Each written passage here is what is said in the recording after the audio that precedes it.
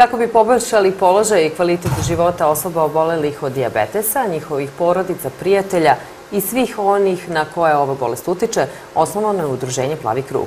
Koje su aktivnosti koje organizuju, reće nam Bojana Marković i Elisaveta Potić iz ove organizacije. Dobro jutro, Dobro jutro i dobrodošle. Dobro. Hvala na pozivu. Evo, napravili smo neki mali uvod, zaista je to minimalan uvod, e, što, što možemo sve pričati o diabetesu i o organizaciji Plavi krug, ali hajde da e, ponovimo po ko zna koji put o kakvoj bolesti je reč. Uh, pa diabetes je hronično oboljenje, znači ovaj, kada se dobije, sa njim se živi do, do, do kraja života. Imamo diabetes tip 1, diabetes tip 2. Uh, za diabetes tip 1 je, da kažemo, ovaj, bolest koja se dobija uglavnom u dečijem uzrastu, znači dobiju ga imamo i bebe, decu, mlade, ovaj, i otprilike do neke od neke, 30, da kažemo, do 35. godine otprilike ovaj, da se, može da se dobije diabetes tip 1, a tip 2 je opet negde bolest koja se vezuje uglavnom za starije ljude, ali u poslednjih 10-15 godina, nažalost, e, imamo diabetes tip 2 koji se razvija i kod dece. Ovaj, on e, je, da kažemo, uglavnom vezano, da kažemo, kao nasledni diabetes. Ukoliko ga postoji u porodici, trebalo bi da se više vodi računa ove, o načinu ove, života, kako se ne bi razvio. Ove, s tim da, znači, kada se negde, kažemo, povede računa, diabetes tip 2 može da se odloži, čak u nekim slučajevima i da se ne, ovaj, ne dobije, ukoliko se ovaj, uradi jedan test, upitnik koji ima osam ovaj, pitanja koji može da, da otkrije koliki je faktor rizika. Taj, uh, taj... Ima ga i online, može da se uradi, ima na, na diabeti, postoji ovaj, na sajtu Dijabetološkog savjeza Srbije, postoji upitnik koji može i online da se uradi. To su osam opštih ovaj, pitanja, da kažemo da se ovaj, broj godina, ovaj, obim struka, E, body mass index, e, da li svakodnevno unosimo povrće i voće, da li svaki dan imamo fizičku aktivnost koja je otprilike nekih pola sata, 45 minuta, da li, vam, da li se piju lekovi za pritisak i da li je nekad na nekoj kontroli e, zabeležena povišena glikemija i da li, da li imamo nekoga u porodici ko ima diabetes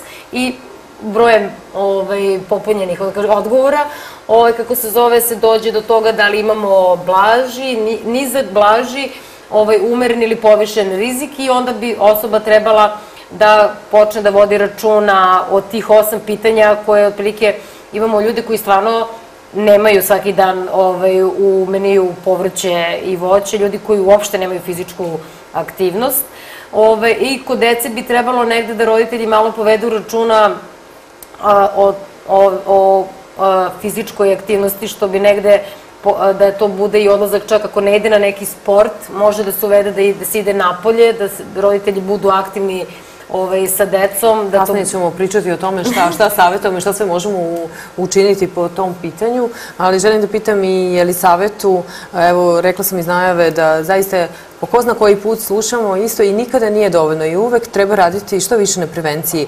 Šta vi konkretno radite u organizaciji Plavi krug? U plavom krugu, dakle, jedna od naših najvažnijih i poruka ovaj, i akcija jeste vezana uopšteno za sport. Dakle, imamo najrazličitije moguće ovaj, aktivnosti, uh, turnire, uh, utakmice, ako govorimo o futbalu, o košarci, o tenisu, a kao kruna svih naših događaja jeste uoči Svetskog dana diabetesa, dakle, 14. novembra, maraton Plavi krug oko Ade, taj maraton ovaj, se sada već 7-8 godina ovaj, sva, svaki put održava u to vreme i predstavlja drugi maraton po veličini u Beogradu posle, ovaj, naravno, Beogradskog, ali i u Srbiji. Jako smo ponosni na taj maraton i ponosni smo na to što se naravno svake godine sve više i više ljudi za njega prijavljuje, što znači da oni vide koliko je važno to što mi radimo, to što želimo da podignemo svest o tome koliko je važna fizička aktivnost, zato što stvarno, kada govorimo o prevenciji tip 2 diabetesa, a više od 90% ovaj, stanovnika koji imaju tip 2 diabetes u Srbiji, dakle, tip 2 predstavlja otprilike 90%, dok samo 10% onih koji imaju diabetes u stvari imaju tip 1, dakle tip 2, one koji može da se preventira, upravo ako samo imamo 30 minuta fizičke aktivnosti tokom dana, već za gotovo 50% ovaj, postoji ta mogućnost da se to sanira i da se on ne razvije kod osobe. Bojana, da li je moguće da se neko ko ima diabetes bavi sportom? Da, mislim, dobro, to je, To je već... čak i preporučljivo, jel? Jeste, preporučljivo. Ranije je to malo bilo onako, da kažemo da su lekari preporučivali e, pogotovo mladim ove, ljudima, deci, mladima, ukoliko se neko bavi, da kažemo, ozbiljno ili ti profesionalno ovaj, sportom, da kažu da stopiraju jer to kao u principu nije dobro. Dobro je da kao da se ima fizička aktivnost, ali evo, mi imamo uspešne i Elisaveta je, na primjer, jedan od toga, i ona će vam ispričati, ovaj, ona se profesionalno bavila ovaj, plivanjem. Znači imamo stvarno uspešne ljude sad, ovaj, kod nas u Srbiji da duše nemamo nekog ko se, onda kažemo da je možda nešto kao uspešan, ali imamo jako puno uspešne dece koje se, i mladih ljudi koji se bave profesionalno jako su uspešni u tim svojim ovaj, disciplinama. Tako da se je sport izuzetno preporučljiv i osoba koja ima diabetes može ovaj, ozbiljno ili ti profesionalno da se bavi ovaj, sportom, jer e, pokušavamo da eto, kroz te neke dobre primere i ošte kroz primere ne moraju da budu dobri, ali da su deca uspešna, da im e, razbimo te predrasude koje koje vladaju kod, kod ljudi. Znači, osoba s diabetesom može da se bavi znači ne samo sportom, znači bilo kojom profesijom i da bude jako, jako, jako uspešna u tome. E, Jelisaveta, vi ste takođe i mladi lider, je li tako? Hoćete da više da nam objasnite da, o tome i ovaj- član ste Evropske Tako je, dakle, e, to se zove Međunarodna diabetes federacija Dobro. i ovaj, ona ima svojih šest ogranaka, u čega, dakle, jedan od njih jeste i evropski. E, Ja sam e, kao aktivista Plavog kruga e, predstavljala i Diabetološki savez Srbije 2017. na kampu za mlade lidere na tom evropskom nivou. Nakon tog kampa sam shvatila koliko je meni u stvari važno da se na taj društveni način bavim ovaj, diabetesom i da pomažem ljudima koji sada, na primjer, prolaze kroz nešto kroz šta sam ja prolazila kad sam bila mnogo mlađa, tako da znam da ovaj, je ta, ta vrsta društvene i aktivnosti i pomoći uh, veoma, veoma važna, dakle i psihološke.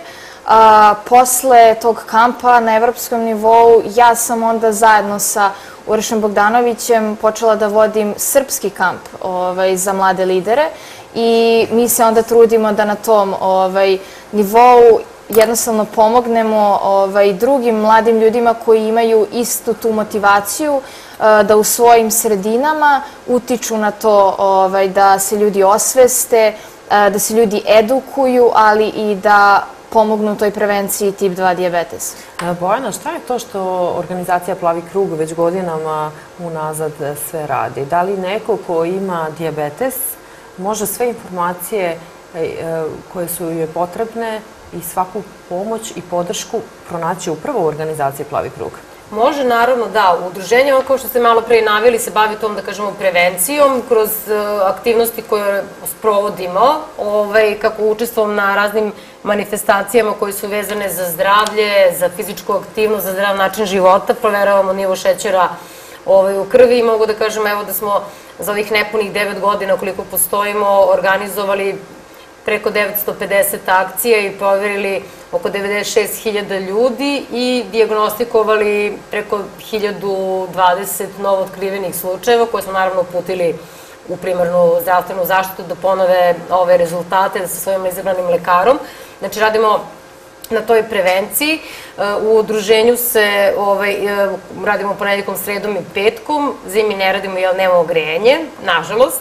Ovaj, kako se zove, ali organizujemo i predavanja. Svakog ponedjeljka ovaj, u 19 časova su ovaj, predavanja na Gde? različite teme u, u prostorijama udruženja u Bulevaru Zorana Đinđića 129 ovaj, gde ljudi mogu da dođe, osim toga što će da izmere šećer, da izmere krvni pritisak, eh, mogu da se informišu i posavetuju o pitanjima vezano za diabetes. Znači, mi smo edukatori, eh, gde sa ljudima pričamo i savjetujemo ih na koji način što lakše mogu da žive sa diabetesom, gde skrenemo pažnju kada su posljednji put bili kod endokrinologa, nefrologa, oftalmologa, znači te neke redovne kontrole koje osoba s diabetesom mora da radi na godišnjem ovaj, nivou, po potrebi i češće. ove, kako se zove, znači o načinu ishrane, o fizičkoj aktivnosti, o uzimanju terapije, o samokontroli diabetesa koja je ključ diabetesa, jer uvidom i, uh, u svoje glikemije on može da svoje stanje drži pod kontrolom, Ovaj, I naravno, e, mi ne pričamo o terapijama, prosto mi nismo lekari, mi smo edukatori, znači o tome moraju da pričaju sa svojim endokrinolozima ili sa svojim ovaj, izabranim lekarom, ako je tip 2 ili tip 1 ovaj, u pitanju, to je, to je razlika ovaj, u tretiranju ovaj, terapije. I kako se zove, i ono što jeste isto jako važno da osobe s diabetesom tu mogu da dobiju podršku u smislu toga da pričaju sa osobom koja deli iste stvari ovaj, i da se potpuno razumemo da ne moramo nešto mnogo, neko da nam objašnjava kada objasni ako mu je visok šećer, ako mu je nizak šećer, ako ima neki psihološki problem. Takođe, da isto trebamo da naglasimo da smo pokrenuli prvo psihološko savjetovalište za osobe sa diabetesom i sad u saradnji sa PIN-om i Dijetološkim savjezom Srbije smo pokrenuli ovaj, grupu podrške za osobe sa diabetesom koja je izuzetno važna ovaj, kod, u životu, kako kod osobe s diabetesom, tako i kod porodica, kod porodice ovaj, u kojoj imamo osobu s diabetesom. To isto važi da nekako e, trebamo da, da, da osnažimo negde ljude i, i roditelje, da mogu da se jave, ovaj, jer to nije prepoznato. Svi viču, nemamo problem, nemamo problem, dok negde ne odu i ne porazgovaraju, stvari, kad prošire tu malo sliku da vide u stvari da je ta psihološka pot, ovaj, pomoć jako važna. Gde, gde je psihološko savjetovalište? E, savjetovalište to je sad grupa, Dobro. jer je savjeta, ja sam trenutno ovaj, u toj grupi, krenut će sad nova grupa ovaj, na proleće, ovaj, gde će moći na našem sajtu i na našim grupama i naravno mogu i putem telefona, nije nikakav problem, da se prijave za grupu, ovaj, kako se zove i onda će da razgovaraju sa psihologom i onda psiholog pravi grupe, da li će to biti roditelji, da li će biti deca. Mi smo sad trenutno u toj, da kažemo, za mlade, da. ovaj, kako se zove, gde ima nas desetak ovaj, u toj grupi i te su to, to su toliko a, dobre te podrške, jer mi pokušamo ljudima da objasnimo jedna od, ove, od devojaka u kojoj grupi, ona je e, na negde na sredini pred kraj, ono da kažemo, nekih razgovora pred kraj godine, rekla ja sam mislila da ćemo ovde više da pričamo o diabetesu, ali i onda sam joj ja postavila pitanje na koji način možemo mi diabetes da razdvojimo od nas. Diabetes je deo nas i nemamo sad kao pričamo o diabetesu. Znači mi što proživljavamo sa diabetesom, mi proživljavamo i naš diabetes proživljava ono što mi tokom dana imamo. Znači to su nerazdvojne stvari i da o tome moramo Znači, zajednički ga proživljavamo i prosto tu se priča o tim nekim životnim situacijama koje mi na dnevnom nivou prolazimo i prosto negde da vidimo kako možemo što lakše da prevazilazimo te stvari koje nam se dešavaju tokom dana, nedelje ili, ili tokom meseca. Jelisaveta, e, koji su to simptomi dijabetesa? Sada svi oni koji gledaju i sumnjaju da li imaju ili eto, jednostavno žele da provere. Objasnite nam koji su to simptomi dijabetesa i koje sve analize potrebno uraditi ne bi li ustanovili da možda imamo ili nemamo diabetes? Dakle, kada govorimo o tim najučestalijim simptomima, to su stvari oni koje sam ja imala, samo što kada je meni diabetes otkriven 2000. godine, o njemu se nije dovoljno pričalo, nisu dakle postale društvene mreže, nisu postale ove vrste podrške, tako da moji roditelji nisu znali uopšte da diabetes tip 1 postoji, znali su samo za tip 2 i da je on naravno vezan za starije osobe, ali kao što uopšteno simptomi ovaj, se javljaju, javili su se i kod mene pojačana žeđ kao prvo i osnovno, što se onda u potpunosti vezuje i sa pojačanim okrenjem.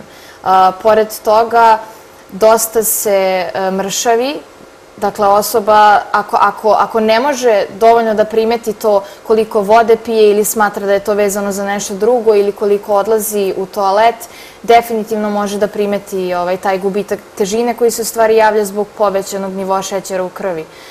mi uvek savjetujemo ljudima, dakle, kad god da se nalazimo na televiziji ili s kim god da pričamo ko nije siguran da li ima diabetes i šta treba da radi, da urade samo ovaj, najobičniju analizu krvi, da vide dakle, gde se nalaze, uh, da li su u tom nekom preddiabetesnom stadijumu, samo da bi oni bukvalno ovaj, zbog sebe i zbog svog zdravlja znali šta treba sledeće da rade. Dakle, to bilo ko može da uradi u, u svom domu zdravlja, ako ne, mi merimo šećer i u našem udruženju, a pored udruženja, kako je Bojana pričala o festivalima zdravlja, uvek smo tu, Mnogo ljudi dolaze na festivale zdravlja, na svim tim festivalima zdravlja upravo nekada i otkrivamo nove slučajeve. Dakle, to stvarno nije nikakva prezahtevna stvar, samo je potrebna volja. E, imamo gledalca na vezi.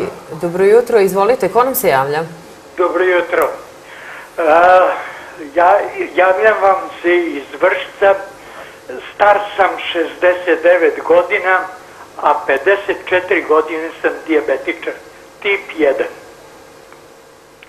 Imam dva sina, imam petoro unukića, samo sam hteo da pozdravim ove mlade dame i da vam kažem da uz, uz uredan život, e, svakodnevnu pažnju i ukućena, a pogotovo sam, sam moju brigu sam o sebi, e, sve može da bude u najboljem redu.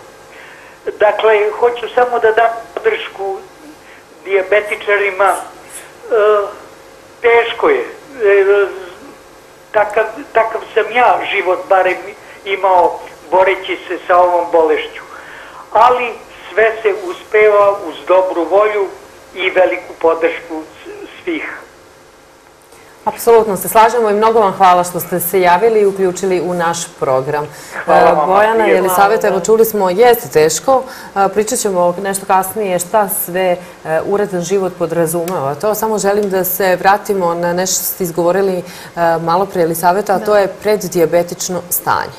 Da. Šta je, šta je preddijabetično stanje? Pa, dakle, kada kada ljudi izmere neki šećer koji je, da kažemo, na granici, dakle, tu ako govorimo ovaj, o jutarnjoj glikemiji pre nego što je osoba uopšte bilo šta jela. Dakle, ta, tada je otprilike najbolje izmeriti šećer zato što nam to govori, ovaj, to je najbolja slika toga kakav, kakva je vrednost našeg šećera u krvi tako kada, na primjer, ljudi dođu ovaj, na festivale zdravlja i mi uvek njih prvo pitanje jeste da li vi imate neki tip diabetesa, a drugo je kada ste poslednji put jeli. Zato što ako su jeli u poslednja dva sata, ta vrednost koju dobijemo neće biti sigurna. Ali, dakle, kada govorimo o tom pred stanju, ovaj, to je upravo, su te neke vrednosti između 6 i 8, da kažemo, kada može da bude u stvari vezano za nešto drugo, za, na primjer, promenu vremena, za neku masnu hranu koju je osoba ranije jela, ali može i da bude indikator toga da će da se ipak ta malo viša vrednost, to jest vrednost upravo na granici, razvije u nešto drugo i zato je važno to pratiti i meriti šećer barem jednom godišnje, a mi čak mislimo da je to ovaj, potrebno raditi i češće od toga. Svakako da su odlasci kod lekara ono što uvek savjetujemo. Jeste, mi savjetujemo inače ljude da nevezano da li imaju u porodici neko ko ima diabetes, nego da ljudi nevezano diabetesa trebaju, znači to je negde, da kažemo, e, da kažemo, redovna godišnja kontrola da je potpuno normalna. Mi ljudima stalno kažemo, pogotovo starijim ljudima, kada dođu i kao, ima ljudi koji se pohvale, ja nisam bio kod lekara 15 godina i ja sad kao kažem dobro, ali to nije okej, okay. mislim trebate da idete jednom godišnje, da kažemo kako kad su bebe male, vodimo ih jednom mesečno, pa onda idemo na redovne lekarske kontrole kroz školu i prosto vas negde i, i, i sistem uči da jednom godišnje trebate idete kod lekara. Ja kažem i kad smo mali, ne vade na krvnu sliku, ali idemo da imamo da sedimo pravo, da imamo ravne tabane, pregledaju nam krajnike, znači te neke osnovne koliko smo visoki teški, ali kasnije kako čovek raste treba da znači, radi jednom godišnje da ide, znači da uradi redovnu kontrolu urina i mokraće, da se ide kod zubara, kod žene, kod ginekologa, yes. mislim prosto to su nekako, da kažemo, lična higijena yes. ovaj, životna i prosto mi kažemo ljudima nevezano diabetesa, kroz krvnu sliku će se uvek neki alarm pokazati ukoliko nešto nije kako treba ovaj, u, u, u organizmu i prosto da nekako treba da vode računa o sebi i svom zdravlju. Eto, to je to, a onda ukoliko naravno dođe do diabetesa treba da se jave lekaru. Udruženja postoje u svim gradovima, u većini gradova, da se jave jer tamo mogu da se opet posavetuju šta je na koji način uh, i na koji način lakše mogu da, da žive sa diabetesom, jer uh, prosto lekari nemaju dovoljno vremena da pričaju i da savjetuju ljude. Oni uglavnom kažu da treba da promene način ishrane, da budu fizički aktivni, da uzimaju terapiju i da treba da proveravaju šećere, ali sad vidimo, ne možemo svi, znači ne može osoba koja ima 10 godina, 20, 30, 50, drugačiji način života vodimo, ovaj, da treba da se uskladi prema svojim nekim mogućnostima ko šta i kako može da vode računa u kakvim treninzima je u pitanju, kako se ko hrani, imamo ljude koji pored diabetesa ili imaju celijakiju, znači ono, ovaj, rezistenciju na gluten, nevezano znači toga nekome nešto odgovara, nekome ne, da se to nekako napravi. I nažalost nemamo u, u Srbiji ove nutricioniste pri domovima zdravlja, što je veliki problem između ostalog. Nema ni u bolnicama, mislim imaju u bolnicama, ali prosto hrana koja se u bolnicama daje nije adekvatna ovaj, baš za ishranu osoba sa diabetesom. Ovaj, znači, neko ko bi vam pravio neki, da kažemo, plan ishrane, to je jako važno. Znači, pogotovo što nam se u zadnjih deset godina možda čak i više, pojavilo ovaj, devojke koje imaju insulinsku rezistenciju, ima naravno i muškaraca. To je upravo bilo moje, moje narodno pitanje, da pojasnimo šta je insulinska rezistencija, ali mi javljaju da imamo još jednog gledalca na vezi, e, pa ćemo ga uključiti, možda želi samo da nas pozdravlja, možda želi da postavi neko pitanje. Dobro jutro, izvolite, ko nam se javlja? Dobar dan. Ovde je Kovačević Gordana iz Starih Banovaca. Ja sam već dugo godina diabetičar od 96. godine. Na insulinu sam, primam ga četiri puta dnevno. htela sam samo da vas pitam, mene se sad u zadnje vreme dešava da mi strašno pa, opadaju vrednosti šećera. Toliko da sam jednom na ulici pala, da mi nije bilo dobro i morali su da zovu hitnu pomoć. I sad u zadnjih jedno mesec i po dana meni uh, in, ove, vrednosti šećera uh, jako variraju.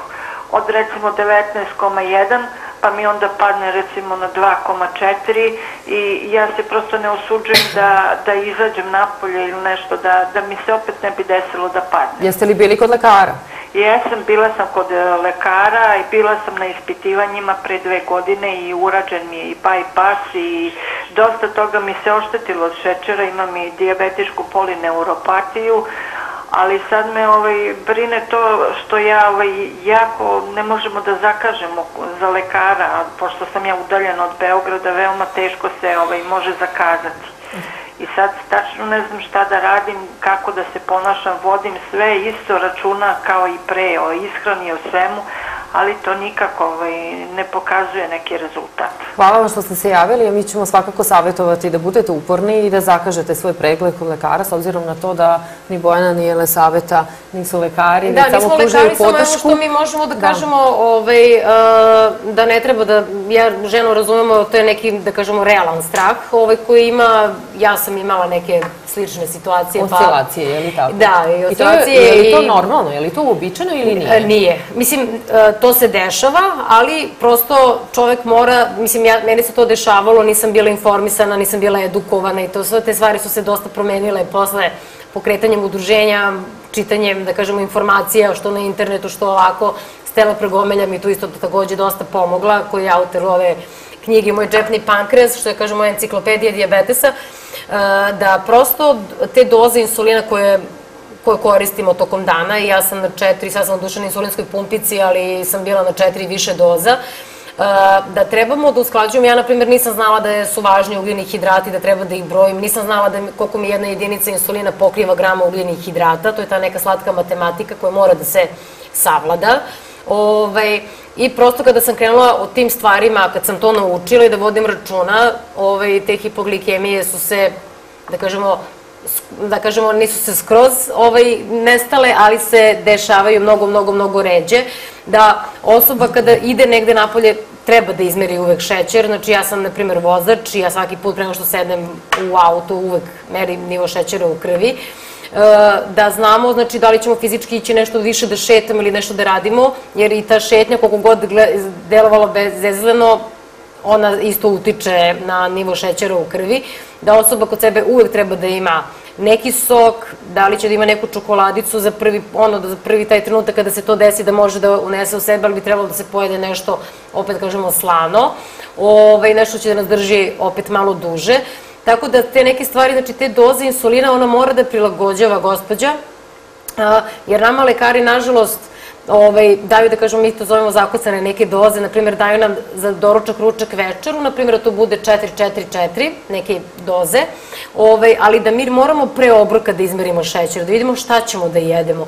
I da ta doza ne može uvek da bude 4. Ako nam je šećer danas, na primjer za doručak, izmerimo pre doručka bude idealan, između 5 i 7, 6 i 8, da damo tu dozu koju nam je lekar preporučio, Ako sutradan ustanemo sa šećerom 12, ne možemo da damo 4 jedinice, jel tako? Nego moramo da povećamo dozu insulina i kako se zove, i kako sledeće jutro ustanemo sa šećerom koje je 3, znači da smo, kažemo, već u hipoglikemiji, da isto nećemo da damo 4 jedinice, nego ćemo dati manju dozu I sve to sada zvuči komplikovano. Jeste, ali se to... Prepostavljam da nije komplikovano upravo... Kad se to savlada. Kada se savlada, Jeste, da. da. Mislim, evo mi možemo, mislim da preporučujem, sad ne znamo da li gospođe koriste internet, prosto ako ne može deca ovaj, da, ili komšije ili već, da ima znači, na našem YouTube kanalu, ima stelino ovaj, predavanje, zove se brojne ugljenih hidrata, ima i predavanje o diabetesu tip 2 i o samokontroli, da posluša, mislim da će malo da joj to približi, da, da, da joj nekako pojasni neke stvari šta bi trebala da, vodi, da uradi, da povede računa da se ne bi to dešavalo, ali naravno... Da Ili možda da kupi knjigu, je li tako? Pa može da, čak može... knjiga ima online. Mislim, da, čak eto, eto mi kažemo da. ljudima da prosto ne, nisu ono da ne, Stela je to eto prosto... Moj podigla... džepni pankreas se zove. Jeste, ovaj Stela Progomelja je ovaj autor, da prosto i da tu pročitaju malo, pogotovo u tom doziranju ovaj, insulina i brojnju ugljenih hidrata. Da li se ishrana za diabetes 1 i 2 razlikuje? Pa, dobro, mislim da kažemo sad da se razlikuje. Ovaj, to je, mislim, ovaj, ja volim to da nekako kažem pod navodnicima, da smo mi nekako, mislim, možda kažem malo privilegovani nego tip 2, ovaj, pod navodnicima, ovaj, zato što mi možemo stvarno da jedemo šta nam se jede, ali to je ono što kažemo, ali moramo da znamo koliko tu ima ugljenih hidrata da bismo mogli da to pokrijemo sa dozom insulina, da ne bismo imali skakanja, iskokove i padove ove šećera, ali kod tipa 2 je to drugačije, zato što oni... Njihov pankreas radi, ali ne radi dovoljno koliko bi, koliko bi trebalo da izluči insulina za njihove dnevne potrebe i oni zato piju lek. Kod nas je drugačije. Mi, znači, naš pankreas ne proizvodi ovaj insulin i mi ga dobijamo putem inekcije ili putem ove insulinske pumpe i to je ta neka razlika da njima je e, kod tipa 2 ishrana jako važna. Mislim, važno je i za nas, naravno ne treba sad da jedemo sve i svašta, ali u principu mi možemo, ako nam se jede neki kolač, ako nam se jede nešto, mislim da kažemo, što nije, ovaj, da kažemo svakodnevno neki fast food, ali mi ono negde objašnjamo ljudima da taj fast food treba da bude samo a, ako nemate šta drugo da pojedete, ako niste skuvali, znači da ne bude svaki dan, da to bude jednom nedeljno, jednom mesečno, ovaj, jer prosto zdrava ishrana će nam pomoći, znači našem telu i našem organizmu i našim krvnim sudovima, znači svemu, da budemo dobro, ovaj, kako se zove, sa opštim zdravljem. Jasno. Je li, li saveta nije samo odricanje od šećera za diabetes e, tipa 2, tu su i skriveni šećeri. Gde se sve nalazi skriveni šećeri i nije samo, nije dovoljno ne jesti slatko, je li tako? Tako je, dakle, ljudi ove, često misle da kada govorimo o šećeru i kada uopšteno govorimo o namirnicama koje koristimo, da treba jesti voće u nekim neizmernim količinama, da treba jesti, ovaj, dakle, tako neke stvari za koje mislimo da su zdrave. Jesu zdrave, voće naravno jeste zdravo, ali moramo da imamo u vidu to da ne možemo da pojedemo ne znam ja koliko grama lubenice, zato što će to definitivno da utiče na naš šećer, zato što iako ona jeste zdrava, iako ona ima vitamine, ona će u mnogome da povisi naš šećer, naročito zato što ima visok glikemijski indeks. Dakle, važno je gledati to još jedan deo slatke matematike, kome je to teško, jel, nažalost, ovaj, ali u mnogome pomaže našoj samoregulaciji, jeste gledati koliki e, je glikemijski indeks koje namirnice, dakle koja namirnica kojom brzinom podiže naš šećer u krvi i onda u zavisnosti od toga mi treba da znamo koliko ćemo pre jela te određene namirnice dati insulin kako ne bi imali dakle taj jedan bum na gore i onda opet pad na dole, dakle kako ne bi imali tu ogromnu oscilaciju, već bi to trebalo da bude što, što je moguće ovaj, jedna prava linija. Bojana, pomenuli ste malo pre insulinsku rezistenciju. Hajde da objasnimo o, o čemu je reč. Pa, a, dobro, sad mislim, to u principu je bi volao da uvek lekari malo pričaju o tim, o tim ove, ovaj, kao nekim stvarima. Insulinska rezistencija a, se javlja, evo sad kažemo u poslednjih godina, ne, ne znam šta je tačno uzrok, jer nikad nije bilo u toj meri, ja mislim da sada otprilike svaka treća ili četvrta devojka ima taj problem i sad osim što je to zastavni problem, to utiče takođe i mogućnost da, da žena ovaj, zatrudni, to je isto jedan od, od velikih problema i tu nekako zajedno se spajaju i policistični jajnici takođe. Ovaj, tako da tu u ekipi treba da bude i ginekolog i ovaj, i endokrinolog. Uh, uh, kod insulinske rezistencije je tu veliki problem što negde, ja, kažemo, ja to volim plastično ljudima nekako da objasnim, da njihov pankreas nekako ne ume tačno da odmeri koliko do, insulina treba da, da izluči pankreas i on, kada ljudi koji imaju insulinsku rezistenciju, oni bi trebali da smanjuju unos ugljenih hidrata, ovaj, po obroku, znači treba da ga unose, ali uh, da, da vide to, znači ono da jedu integralne stvari koje polako, koje nemaju veliki glikemijski indeks, koji će da im naglo podigne, jer vi kada pojedete namirnicu koja ima veliki glikemijski indeks, pankreas kod osoba sa insulinskom rezistencijom registruje da je ušla neka atomska bomba, na primjer, da tako plastično da, da objasnim, i on izluči mnogo insulina. I onda osoba kada završi sa obrokom, njoj pankreas toliko insulina izluči da ona odmah posle obroka ulazi opet u hipoglikemiju. Pada joj šećer, osjeća se malaksalo, neko ima drktavice, neko se znoje, znači različiti su ti simptomi, svako to drugačije, neko čak ima i nesestice. Ove, I onda osobe odmah, pošto vi kad dođete u hipoglikemiju, mi sad koji imamo diabetes isto padamo u, ove, da kažemo, u, u hipoglikemiju, Vama kada dođe taj osjećaj ove hipoglikemije, stanje hipoglikemije, uh, vi se spašavate. To ja da, ne znam kako drugačije da ga, da ga okarakterišem. Znači, vi uzimate šta stignete da pojedete, popite. U tim situacijama stvarno jeste najbolje popiti čašu soka zato što se najbrže ovaj, razlože. Tu imaju naravno i dekstroze, imaju glukozni gelovi. Znači, stvarno sad svašta na tržištu postoji što može da vam pomogne. Glukozni gelovi su dobri zato što su tako napravljeni da, da ne podižu mnogo šećer, da ne, ne odete opet da budete visoki, jer opet kad nekako popijete dve, tri čaše soka, možete opet da budete visoki, pa morate da dajete korek, korektivne doze. A kod osoba sa insulinskom rezistencijom takođe to isto važi da kada osete tu slabost, da treba da pojedu pomoranđu. Sok od pomoranđa je najbolje to što je pomoranđa jedina voća koja ima glukozu i fruktozu ovaj, u sebi. Ona se najviše, ovaj, da kažem, preporučuje, a najbrže ovaj, reaguje.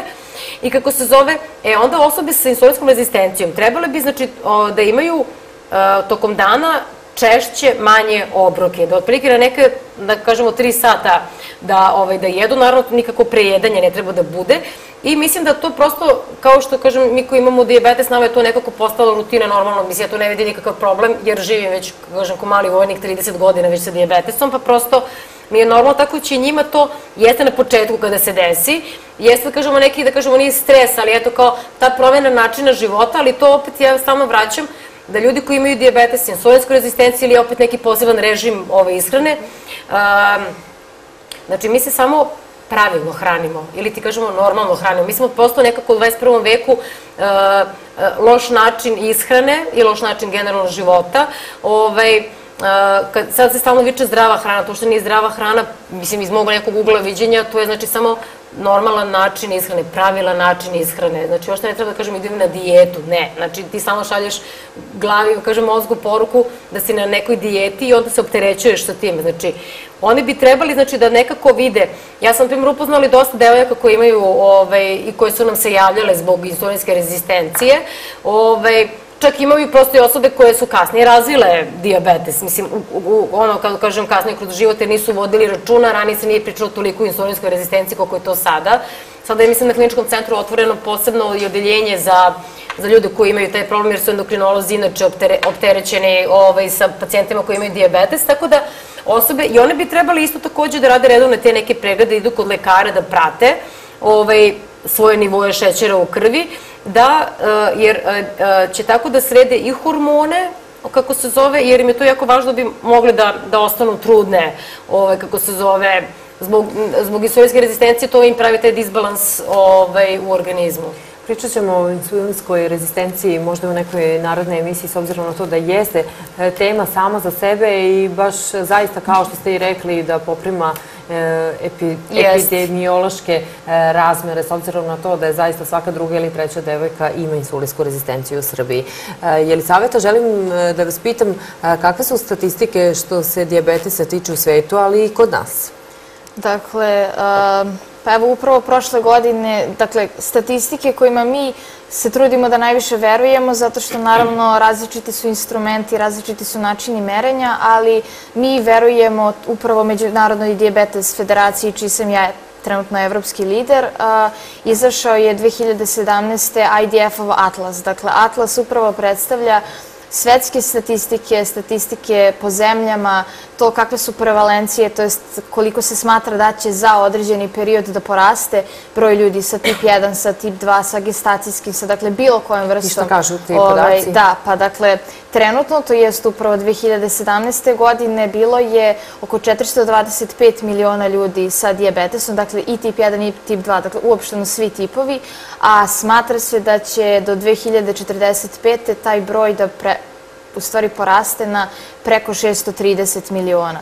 Dakle, za tako kratak period da će toliko mnogo ljudi da oboli i Dakle, ono što je ovde najvažnije upravo jeste to da, dakle, jeste, ima sve više ljudi koji imaju tip 1 diabetes, ali definitivno je mnogo veći broj ljudi sa tip 2 diabetesom, a tip 2 diabetes jeste, ne mogu da kažem, dakle, izlečiv, ali mnogo ga je lakše e, podvesti pod kontrolu, samo je potrebno dakle imati volju, imati podršku i imati jednostavno želju ovaj da se izađe iz tog Gde nekog se Srbija stanja. nalazi u toj statistici?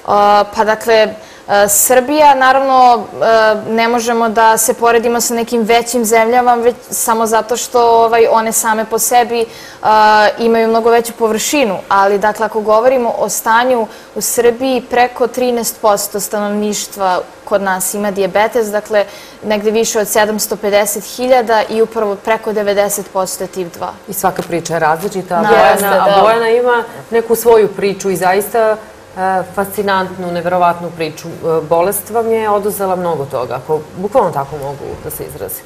Pa da, mislim jeste, ono što ja kažem, ovaj, ali opet kažem, to je, ovaj, ja kažem, a, prosto neke stvari kada se dese, znači nećemo da se okrećemo i da gledamo, znači nego idemo da gledamo ovaj, u budućnost, što kažem, i da vidimo šta možemo da uradimo da da bude bolje. Ovaj, ja jesam, kažem, volim da kažem da sam prošla nekad ovaj, zbog dijabetesa kao bos po trnju, ovaj, ali eto, ovaj, da kažemo, imala sam ovaj, tu neku situaciju 2004. godine, kasno otkrivena trudnoća, ove, kako se zove, gde prosto moj organizam nije mogu da, da iznese ove trudnoću i moralo je, znači, u 21. nedelji da se prekrene, pre, prekine ove trudnoća i onda sad posle toga saznanje da ne mogu da, da se ostavim kao, kao majka, da se mi se ne preporučuje prosto ovaj, zbog stanja, jer su mi, da kažemo, sam razvila i nefropatiju, sad da se nadovežem ovog ovaj, gospodina i u gospođu se javila ovaj, da imam znači, nefropatiju, gastropatiju retinopatiju, znači sve te neke patije, probleme koji,